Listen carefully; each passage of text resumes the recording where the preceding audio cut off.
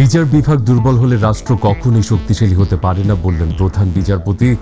দ্রুততম সময়ে বিচার প্রক্রিয়া শেষ করতে বিচারকদের তাগিদ। হত দরিদ্রদের মুজিব বর্ষের ঘর প্রাপ্তি নিয়ে বরিশালের মূলাদিতে আর্থিক অনিয়মের অভিযোগ। আইনগত ব্যবস্থা নেওয়ার আশ্বাস প্রশাসনের। খিরসাপাত ও ফজলির পর এবার একসাথে জিআই স্বীকৃতি পেয়েছে চাপাই নবগঞ্জের ল্যাংডা ও আশিনা এতে খুশি জেলার আমচাষী ও ব্যবসায়ীরা।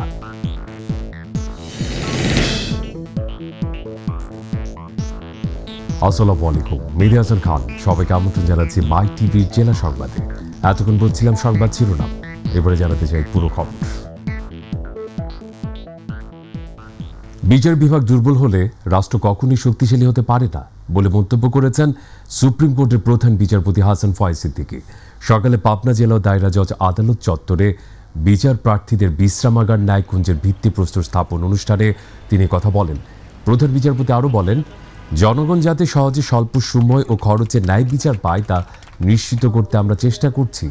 বিচার বিভাগকে গতিশীল করে দ্রুততম সময়ে বিচার প্রক্রিয়া শেষ করতে বিচারকদের তাগিদ দেওয়া হচ্ছে। যদি জুডিশিয়ারি দুর্বল হয়, তাহলে সে রাষ্ট্র শক্তিশালী, এটা বলা যাবে না। সেই জন্য আমরা চেষ্টা করে যাচ্ছি।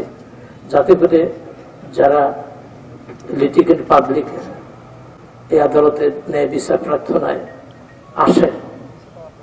তারা স্বল্প খরচে, স্বল্প সময় ন্যায় বিচার পায়, তা নিশ্চিত করা। ময়মনসিংহে জেলা আওয়ামী লীগের কার্যালয়ে স্মার্ট কর্নার উদ্বোধন করা হয়েছে। সকালে নগরীর শিববাড়ি দলীয় কার্যালয়ে ফিতা ও ফলক উন্মোচন করে স্মার্ট কর্নারের উদ্বোধন করেন বাংলাদেশ আওয়ামী লীগের জাতীয় নির্বাচন পরিচালনা কমিটির প্রধান সমন্বয়ক ও সাবেক মন্ত্রী পরিষদ সচিব কবির বিন আনোয়ার। এ সময় তিনি বলেন দেশ বিরোধী চক্রান্ত প্রতিহত করে স্মার্ট বাংলাদেশ বিনির্মাণে আওয়ামী লীগ অগ্রণী ভূমিকা পালন করবে। জামায়াত ইসলামের কিছু ধর্মান্ধ সন্ত্রাস ও ফ্যাসিস্ট শক্তিকে দেশের মানুষ কখনোই গ্রহণ করেনি, এবারও করবে না বলেও মন্তব্য করেন তিনি। বিদেশের মাটিতে লোক বসিয়ে, ভাড়া করা লোক দিয়ে দেশের অভ্যন্তর থেকে নানাভাবে আমাদের দেশ বিরোধী চক্রান্ত আমি বলব। এখানে আমি মনে করি যে এই দেশ বিরোধী চক্রান্ত যারা করছে তাদের বিরুদ্ধে যে সত্যিকারের তথ্য উপাত্ত এবং সত্য ইতিহাস ঘটনাকে তুলে ধরে যে আমরা এগুলা জবাব দেওয়া, সেই কাজটি আমাদের এই শুরু হবে, এই স্মার্ট কর্নারের কর্মীদের দ্বারা। রাশদ সভাপতি হাসানুল হক ইনু এমপি বলেছেন, গণতন্ত্রের প্রতি প্রাতিষ্ঠানিককরণ, সংবিধান রক্ষা, সাংবিধানিক ধারা রক্ষার জন্য একমাত্র পথ হচ্ছে যথাসময় নির্বাচন করা। এর বাইরে যারা সরকার উৎখাত এবং সংবিধান অদল বদলের কথা বলে তারা নির্বাচনের নামে সাংবিধানিক ধারাকে ক্রস ফায়ারে ফেলতে চাচ্ছে। এটা দুঃখজনক। সকালে কুষ্টিয়া সার্কিট হাউসে জাতীয় আইনজীবী পরিষদ কুষ্টিয়া জেলা শাখার নেতৃবৃন্দের সাথে মতবিনিময় সভায় যোগ দিয়ে সাংবাদিকদের এসব কথা বলেন তিনি।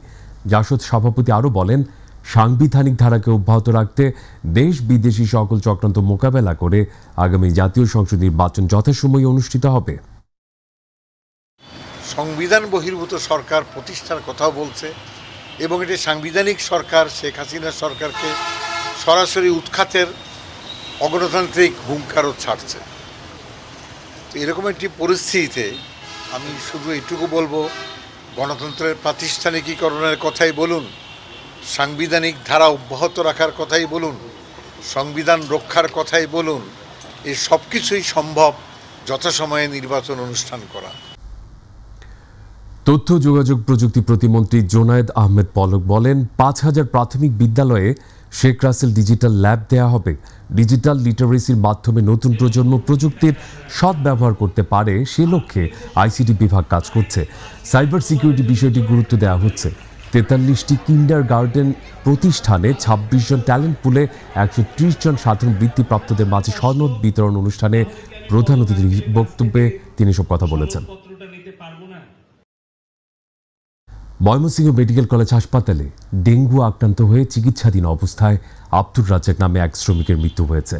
গাজীপুর জেলার মাওনায় শ্রমিক হিসেবে কর্মরত থাকা অবস্থায় ডেঙ্গু আক্রান্ত হয়ে তিনি শুক্রবার ময়মনসিংহ মেডিকেল কলেজ হাসপাতালে ভর্তি হন। তার বাড়ি ময়মনসিংহের তারাকান্দা উপজেলায়। এর আগে গত রোববার ডেঙ্গু আক্রান্ত হয়ে নেত্রকোনা জেলার দুর্গাপুরের বিলকিস আক্তার মারা যান।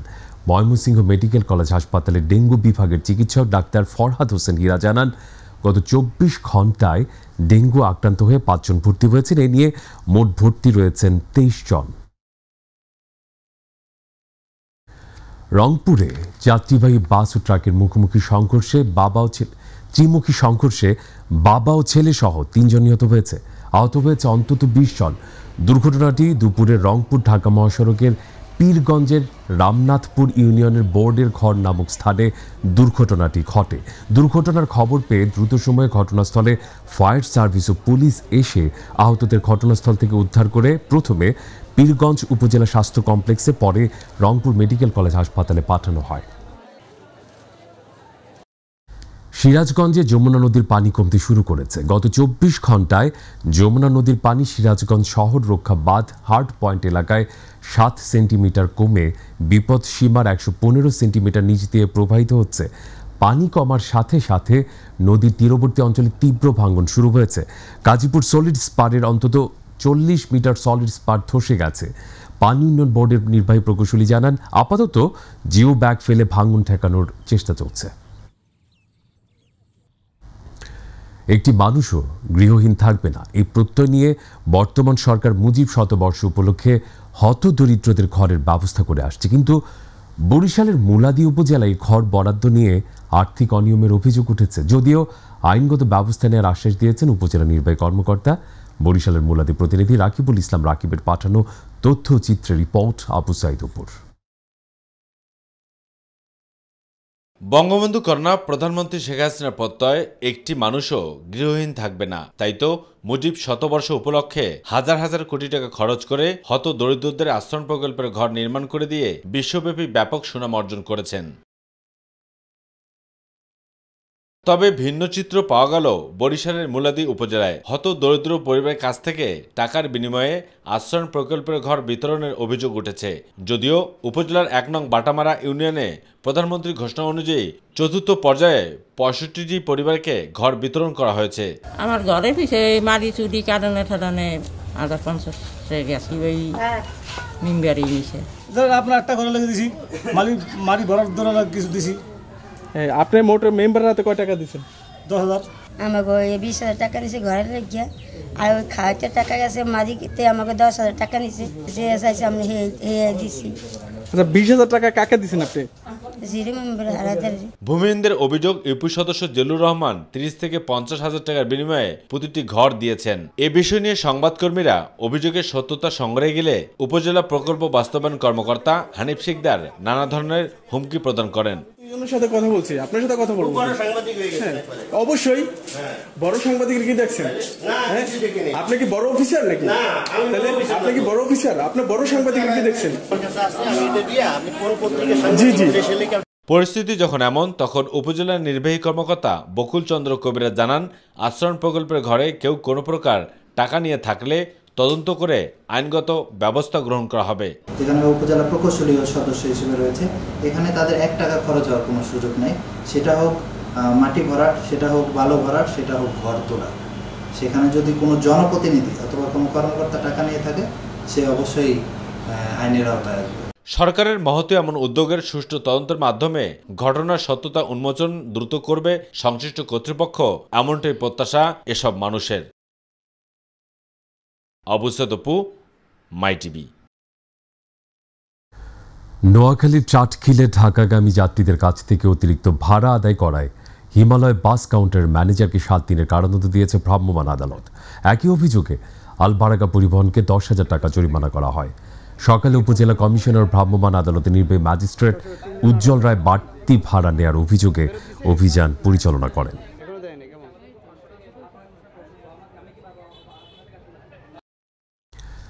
কক্সবাজারের চকরিয়ায় অভিযান চালিয়ে পাঁচটি আগ্নেয়াস্ত্র, বিপুল পরিমাণ বুলেট, সেনাবাহিনীর নকল ইউনিফর্ম, অত্যাধুনিক বাইনোকুলার ও দেশীয় অস্ত্র উদ্ধার করেছে র্যাব পনেরো। এই সময় চকরিয়া মহেশখালীর উপকূলবর্তী বিভিন্ন এলাকায় অভিযান চালিয়ে চক্রের সাত সদস্যকে গ্রেপ্তার করা হয় বলে জানান অতিরিক্ত পুলিশ সুপার আবু সালাম চৌধুরী। দক্ষিণ পশ্চিমাঞ্চলের সর্ববৃহৎ চামড়ার মোকাম যশোরের রাজার হাট ঈদের পর দ্বিতীয় হাতে ক্ষুদ্র মৌসুমি ব্যবসায়ীরা চামড়া নিয়ে এলেও নির্ধারিত দামের চেয়ে কম দামে বিক্রি করতে হচ্ছে। আর ছাগলের চামড়ার দাম নেই বললেই চলে। গত কয়েক বছরের মতো এবারও কোরবানির পশুর চামড়ার সঠিক দাম মেলেনি ব্যবসায়ীদের। এতে লোকসানে পড়বেন বলে মনে করছেন ব্যবসায়ীরা। যশোরের দক্ষিণ পশ্চিম অঞ্চলে সর্ববৃহৎ চামড়ার বাজার রাজার হাট থেকে খবর জানাচ্ছেন খবর জানাতে যুক্ত হচ্ছেন আমাদের প্রতিনিধি শরীফুল ইসলাম। আমি এখন যে বাজারে দাঁড়িয়ে আছি, এ বাজারের পরিস্থিতি। যেখানে ক্রেতা নাই, বিক্রেতা থাকলেও ক্রেতা না থাকার কারণে ছোট ছোট ক্ষুদ্র ব্যবসায়ীরা হতাশাগ্রস্ত ভিতরে আছে এবং আমি আপনার মাধ্যম দিয়ে আরেকটা কথা জানিয়ে রাখি যশোর প্রাণী সম্পদ অধিদপ্তরের মাধ্যম দিয়ে জানতে পেরেছি যে, এই খুলনা বিভাগের নয় লক্ষ পঞ্চাশ হাজার পশু কুরবানি হয়েছে এ ঈদে। এই নয় লক্ষ পঞ্চাশ হাজারের পশু, সব পশুগুলোর চামড়াই এ হাটে বিক্রি হবে বলে জানিয়েছে সংশ্লিষ্ট ব্যবসায়ীরা। আমি আপনার মাধ্যমে আরেকটা কথা জানিয়ে রাখি যে এ বাজারের ঢাকা এবং কুষ্টিয়ার পার্টি ট্রেনার মালিকরা না আসার কারণে ছোটো ছোটো ব্যবসায়ীরা সারাদিন অপেক্ষা করার পরেও চামড়া বিক্রি করতে পারছে না এবং এরা অত্যন্ত চিন্তিত অবস্থায় আছে এই চামড়া ফেরত নিয়ে যাওয়ার জন্য গাড়ি ভাড়া অত্যন্ত বেশি এবং লবণের দাম বেশি হওয়াতে দুশ্চিন্তার ভিতরে আছেন ছোটো ছোট তৃণমূলের ব্যবসায়ীরা। আমি এই রাজারহাটের সর্বশেষ তথ্যটুকু ছিল। ধন্যবাদ আপনাকে। ধন্যবাদ আপনাকে। এবারে আমাদের কৃষি।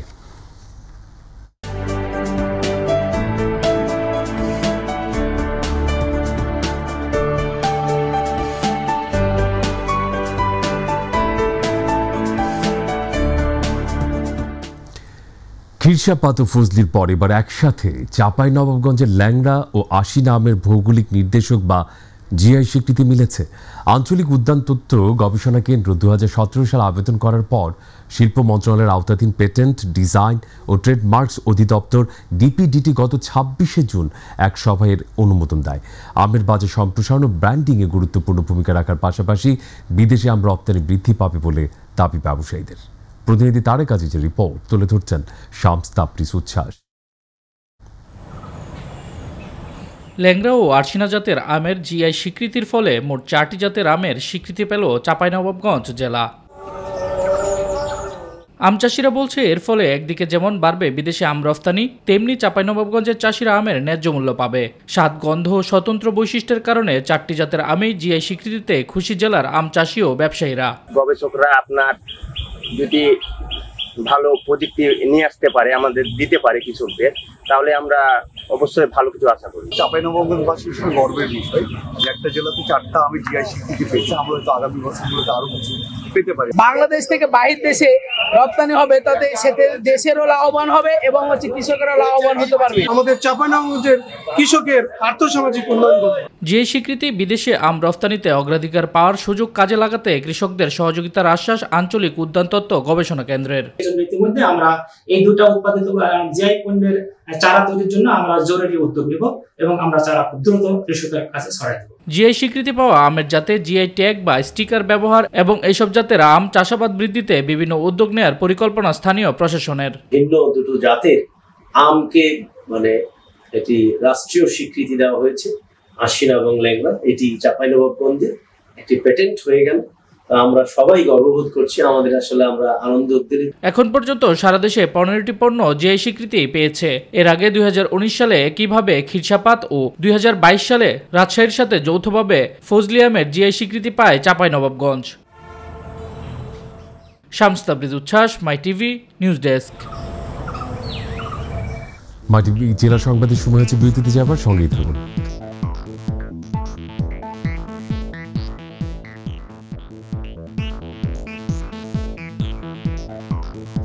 মাই টিভি জেলা সংবাদে বিরতির পর স্বাগত জানাচ্ছি। মফস্বলের সিনেমা হলের বেহাল অবস্থা থাকায় বাংলা চলচ্চিত্র থেকে দর্শক মুখ ফিরে নিলেও সম্প্রতি বেশ কিছু ভালো ছবি মুক্তি পাওয়ায় দর্শকদের ভিড় এখন প্রেক্ষাগৃহে। এস এম সোহেল রানার তথ্যচিত্র আরও জানাচ্ছেন আমেনা হীরা। একসময় সিনেমা হলের স্বর্ণযুগ থাকলেও দর্শক অভাবে ধীরে ধীরে বন্ধ হয়ে গেছে অনেক সিনেমা হল। তবে এবারের ঈদুল আজহায় মুক্তি পেয়েছে সফল বেশ কয়েকটি সিনেমা। আর এতেই এত বছর পর সিনেমা হলে দর্শকদের উপচে পড়া ভিড়। দর্শক আপনাকে শুধু স্টার সিনেপ্লেক্সই নয় দেশের বিভিন্ন সিনেমা হলে দেখা গেছে দর্শকদের আনাগোনা। গত কয়েক বছরেও দর্শকদের এমন উত্তেজনা চোখে পড়েনি হল মালিকদের। বাংলা সুপারস্টার খ্যাত শাকিব খানের প্রিয়তমা ছবিটি এই ঈদুল আজহাতে শ্রীপুরের শাপলা হলে প্রদর্শন করা হলে সিনেমা প্রেমী ও শাকিব খান ভক্ত নারী পুরুষ কিশোর কিশোরীরা ছুটে আসেন সিনেমা দেখতে। বসে ছবি একদম মস্তি করে দিয়েছে। মানে মনটা আজকে অনেক চেষ্টা করে টিকিট পাইছি আমি খুবই আনন্দিত। ছবিটা খুব ভালো আর আমি শাকিব খানের বিগ ফ্যান আমি শাকিব খানের ভক্ত প্রিয়তম ছবি দেখতে হলে আসছি। ভালো ছিল খুব কষ্টের ছবিটা অনেক ভালো লাগছে ছবিটা দেখিয়া। বাংলাদেশে এমন ছবি যদি হয় আমরা আশা করি বাংলাদেশের চলচ্চিত্রের উন্নয়ন হবে এবং আমরা আবার হলমুখী হতে পারব। পরবর্তীতে এমন মানসম্মত ছবি প্রেক্ষাগৃহে প্রদর্শন হলে আবারও ঘুরে দাঁড়াতে পারবে সিনেমা হলগুলো এমনটাই বলছেন হল কর্তৃপক্ষ। দর্শক ছবি দেখে আনন্দ পাইছে এলিয়া দর্শক হলমুখী। কারণ এরকম ভালো মানের ছবি হইলে হলে আবার এই পরিবেশ মতন মহিলা দর্শক এবং পুরুষ উভয় পক্ষে মিলা ফ্যামিলি হতে পারবে ছবি দেওয়ার সুযোগ পাইবো আর কি। যদি এই ধরনের কোনো ছবি আসে ভালো। Amina Hira My TV news desk. অপরাধ দমন আইন শৃঙ্খলা পরিস্থিতি স্বাভাবিক রাখতে চাঁদপুরে র্যাব এগারোর মহড়া দিয়েছে। চব্বিশ ঘণ্টার জন্য বিশেষ টহল পরিচালনা কার্যক্রম শুরু করে কুমিল্লা জোনের র্যাব এগারো। দিনব্যাপী চাঁদপুর শহরে বিভিন্ন দর্শনীয় স্থান পার্ক শপিং মল রেস্টুরেন্ট বিভিন্ন উপজেলায় মহড়া ও গোয়েন্দা নজরদারি বাড়ানো হয়। ঠাকুরগাঁওয়ে জেলা প্রশাসক কার্যালয়ে নাসির উদ্দিন নামের এক যুবক ভাঙচুর চালিয়েছে। ঘটনায় তাকে আটকও করেছে পুলিশ। সকালে জেলা প্রশাসক কার্যালয়ে তালা ভেঙে ভেতরে ঢুকে ব্যাপক ভাঙচুর চালায় ওই যুবক। এ ঘটনায় তাকে বাধা দিতে গেলে ঠাকুরগাঁও সদর থানা পুলিশের উপপরিদর্শক মামুনুর রশিদ গুরুতর আহত হয়। যশোরে বিদেশি অস্ত্র গুলি ও ইয়াবা সহ তিনজনকে গ্রেপ্তার করেছে জেলা গোয়েন্দা পুলিশ। শুক্রবার সংবাদ সম্মেলনে গোয়েন্দা বিভাগের পুলিশ পরিদর্শক শহীদুল ইসলাম জানান, মনিরামপুরের খেদাপাড়া গ্রামে অভিযান চালিয়ে আবু সিনহা ঘর থেকে একটি বিদেশি পিস্তল, দুই রাউন্ড গুলি এবং পঞ্চাশ পিস ইয়াবা ট্যাবলেট সহ তিনজনকে হাতে নাতে আটক করা হয়। গ্রেপ্তারকৃতরা হলেন মনিরামপুরে খেদাপাড়ার আবু সিনহা, হাফিজুর রহমান ও মাহাবুর রহমান। চট্টগ্রামের সীতাকুণ্ড থানার আলোচিত চাঞ্চল্যকর শাহজাহান হত্যা মামলার পরোয়ানাভুক্ত পলাতক আসামি দুলাল চন্দ্র দেকে দীর্ঘ চব্বিশ বছর পর গ্রেপ্তার করেছে র্যাব। সীতাকুণ্ড থানার মহাদেবপুর এলাকা থেকে তাকে গ্রেপ্তার করা হয়। আসামি দুলাল চন্দ্র দে সীতাকুণ্ডের মহাদেবপুর এলাকার সুনীল চন্দ্র দের ছেলে। কসবায় পুলিশের পৃথক তিনটি অভিযানে একশো পাঁচ বোতল বিদেশি ব্র্যান্ডের মদ ও নয় কেজি গাঁজা সহ চারজনকে আটক করেছে পুলিশ। কসবা থানা অফিসার ইনচার্জ মোহাম্মদ মহিউদ্দিন জানান, উপজেলার কাইউম থেকে একশো পাঁচ বোতল বিদেশি মদ, হাজিপুর থেকে পাঁচ কেজি গাঁজা সহ দুজন এবং কুটি চৌমোহনী থেকে চার কেজি গাঁজা সহ দুজনকে আটক করে কসবা থানা পুলিশ। একশো পাঁচ বোতল বিদেশি মদ একটি সিএনজিতে রেখে আসামিরা পালিয়ে গেলে মৎস্য সিএনজিটি জব্দ করে পুলিশ। বেসরকারি স্যাটেলাইট চ্যানেল মাই টিভির চেয়ারম্যান ও ব্যবস্থাপনা পরিচালকের মাতা ও মাই টিভির প্রতিষ্ঠাতা চেয়ারম্যান ওমেদা বেগমের ষোলোতম মৃত্যুবার্ষিকী উপলক্ষে গাজীপুরে কালিয়াকৈরে মিলাদ ও দোয়া মাহফিল অনুষ্ঠিত হয়েছে। মাই টিভির কালিয়াকৈর উপজেলা প্রতিনিধি আজিজুর রহমান আজিজের সভাপতিত্বে ও কালিয়াকৈর প্রেস ক্লাবের সভাপতি আরিফ হোসেন খোকনের সঞ্চালনায় কেন্দ্রীয় মার্কাসুল মাদ্রাসায় মিলাদুদোয়া মাহফিলের আয়োজন করা হয়। মিলাদুদোয়া শেষে হাফেজ মাওলানা সহ এতিম দুস্থ ছাত্রদের মাঝে মিষ্টি বিতরণ করা হয়। এদিকে মাই টিভির চেয়ারম্যান ও ব্যবস্থাপনা পরিচালক নাসির উদ্দিন সাথীর মাতা ও প্রতিষ্ঠাতা চেয়ারম্যান মরহুমা ওমেদা বেগমের ষোলোতম মৃত্যুবার্ষিকী উপলক্ষে বরিশালের মেহেন্দিগঞ্জে মাদ্রাসা ও এতিমখানায় দোয়া ও মিলাদ অনুষ্ঠিত হয়েছে। মাই টিভির মেহেন্দিগঞ্জ প্রতিনিধি মুস্তাফিজুর রহমান শিবলুর আয়োজনে মরহুমার আত্মার শান্তি কামনা ও মাই টিভির চেয়ারম্যান ও ব্যবস্থাপনা পরিচালক নাসিরুদ্দিন সাথী সহ পরিবারের সকলের সুস্থ কামনা করে দোয়া করা হয়।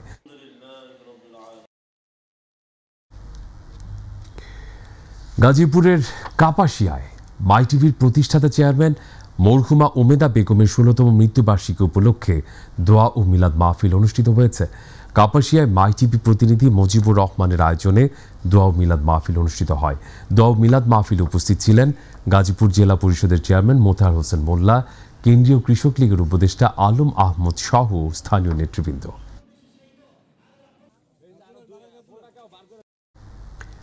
বেসরকারি স্যাটেলাইট চ্যানেল মাই টিভির চেয়ারম্যান ও ব্যবস্থাপনা পরিচালকের মাতা ও মাই টিভির প্রতিষ্ঠাতা চেয়ারম্যান ওমেদা বেগমের ষোলোতম মৃত্যুবার্ষিকী উপলক্ষে মিলাদ উদোয়া মাহফিল অনুষ্ঠিত হয়েছে। মাই টিভির মির্জাপুর উপজেলা প্রতিনিধি মোশারফ হোসেনের সভাপতিত্বে সৈয়দপুর কেন্দ্রীয় জামি মসজিদ ও মাদ্রাসায় মিলাদ উদা মাহফিলের আয়োজন করা হয়। এই সময় আয়োজিত কোরআন খতম, দোয়া মাহফিল এলাকার গণ্যমান্য মুসুল্লিয়ান ব্যক্তিবর্গ উপস্থিত ছিলেন। গাইবান্ধায় মাই টিভির প্রতিষ্ঠাতা চেয়ারম্যান মরহুমা ওমেদা বেগমের ষোলোতম মৃত্যুবার্ষিকীতে দোয়া মিলাদ মাহফিলের আয়োজন করা হয়।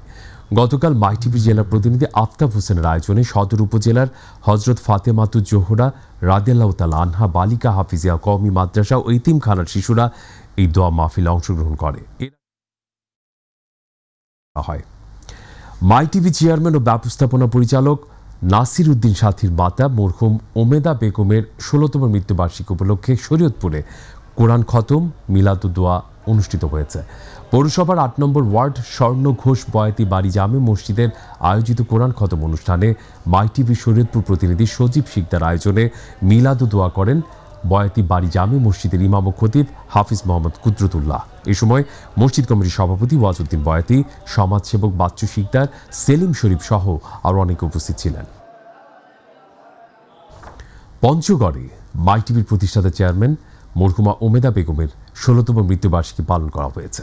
গতকাল মাই টিভির পঞ্চগড় প্রতিনিধি আবু তাহের আনসারির আয়োজনে মাগুর মারি হাফিজিয়া মাদ্রাসা ও এতিমখানার এতিম শিশুদের নিয়ে কোরআন খতম, মিলাদ মাহফিল দোয়া অনুষ্ঠিত হয়।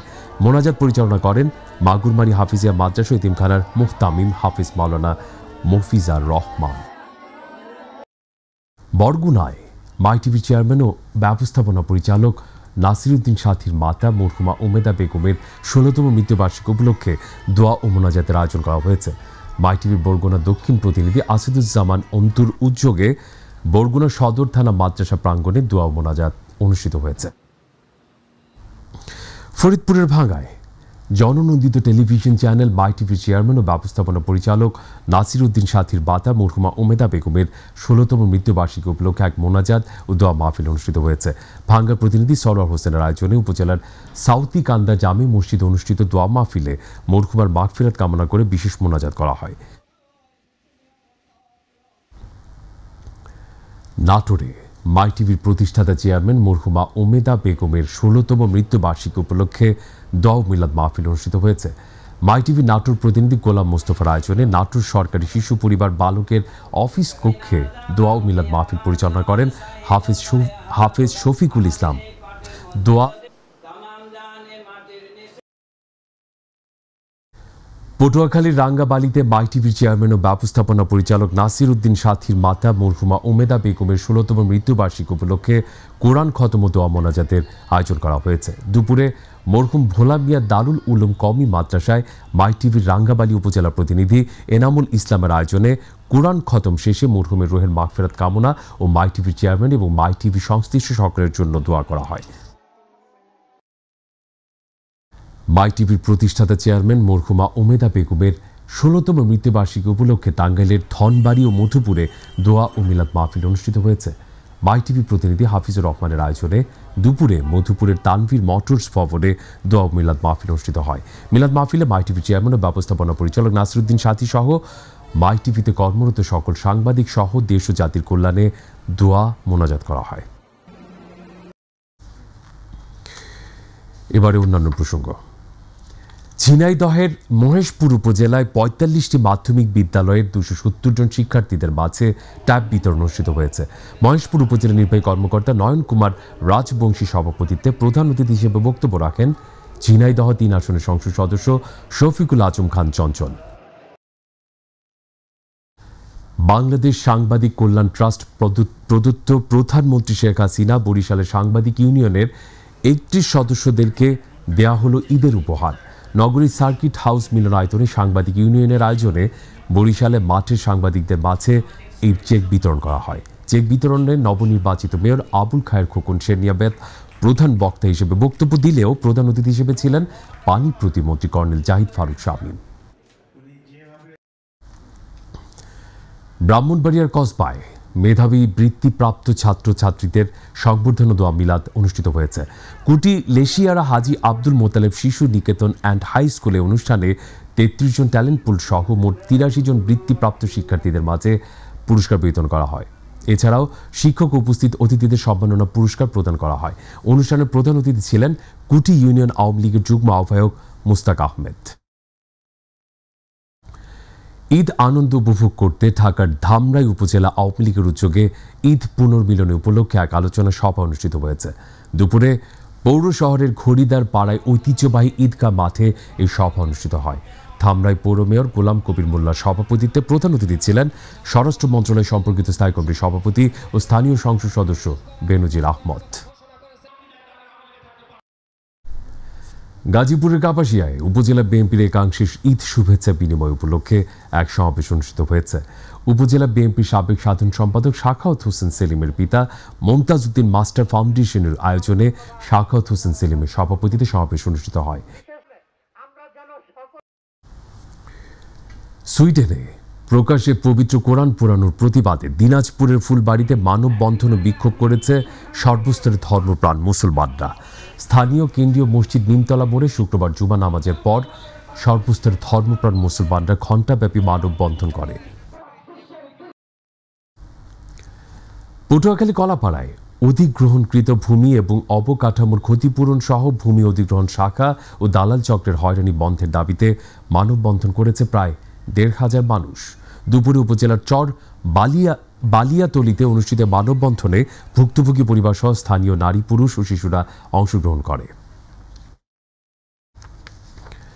স্বাস্থ্য, পরিবার ও পরিকল্পনা মন্ত্রী জাহিদ আহমেদ এমপি সহ জাহিদ মালিক এমপি সহ তার পরিবারকে নিয়ে সংবাদ প্রকাশের প্রতিবাদে মানববন্ধন ও প্রতিবাদ সমাবেশ করেছে নেতাকর্মীরা। দুপুরে শহরের শহীদ রফিক সড়কের মানিকগঞ্জ প্রেস ক্লাব প্রাঙ্গণে মানিকগঞ্জ জেলা সর্বস্তরে জনগণের ব্যানারে এই মানববন্ধন ও প্রতিবাদ সমাবেশ অনুষ্ঠিত হয়।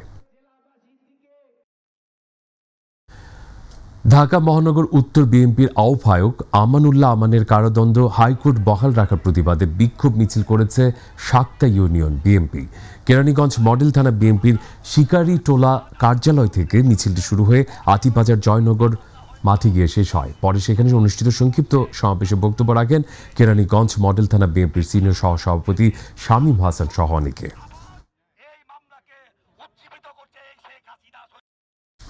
দর্শক ছিল এখনকার মতো জেলা সংবাদে। পরবর্তী সংবাদ ইংরেজি সন্ধ্যা ছটায়। দেখা আমন্ত্রণ। বিদায় নিচ্ছে মেহেদি হাসান খান। আল্লাহ হাফিজ।